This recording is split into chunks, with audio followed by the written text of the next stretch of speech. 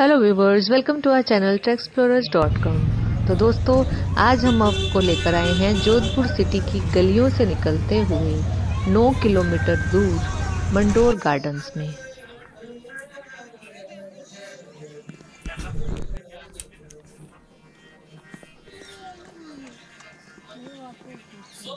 आपको एक बार फिर से बता दें कि ये पार्क यानी कि मंडोर गार्डन जोधपुर सिटी से उत्तर की तरफ़ 9 किलोमीटर की दूरी पर स्थित है, जो मारवाड़ के महाराजाओं की पूर्व राजधानी थी।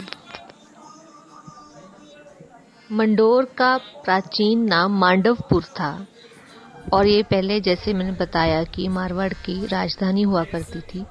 राव जोधा ने मंडोर को असुरक्षित मानकर सुरक्षा के लिहाज से चिड़ियाकूट पर्वत पर मेहरानगढ़ का निर्माण कर अपने नाम से जोधपुर को बसाया था, तथा इसे, यानी कि मंडोर को मारवाड़ की राजधानी बनाया।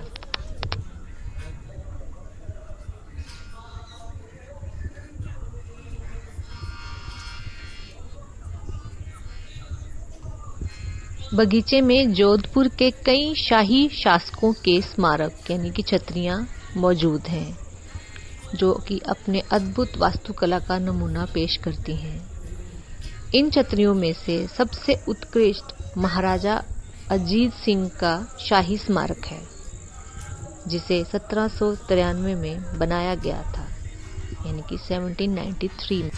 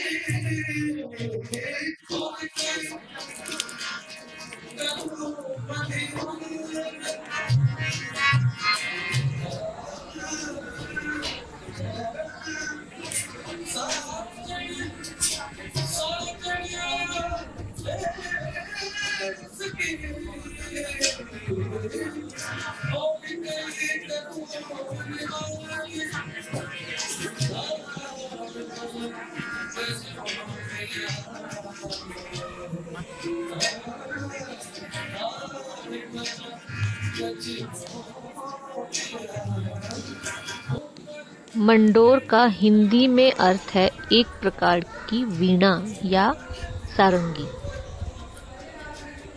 मान्यता है कि रावण की ससुराल जोधपुर में है। रावण की पत्नी महारानी मंदोदरी जोधपुर के मंडोर के राजा की पुत्री थी। लंका से जब रावण बारात लेकर जोधपुर के मंडोर आए थे, तब उनके साथ बारात में गोदा गोत्र के श्रीमाली ब्राह्मण भी यहाँ आए थे।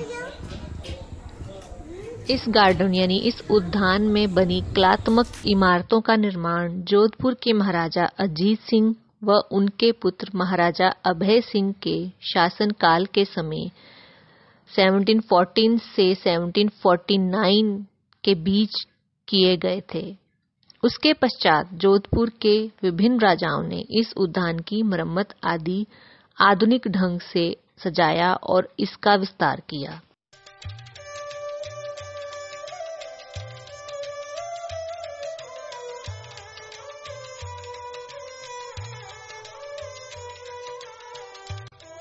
अपने ऊँची चट्टानी चबूतरों के साथ, अपने आकर्षक बगीचों के कारण ये प्रचलित पिकनिक स्थल बन गया है।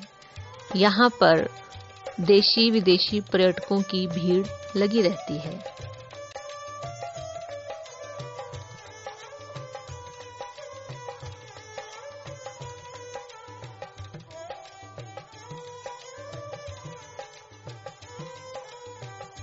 इससे आगे हम बढ़ेंगे मंडोर फोर्ट की तरफ़।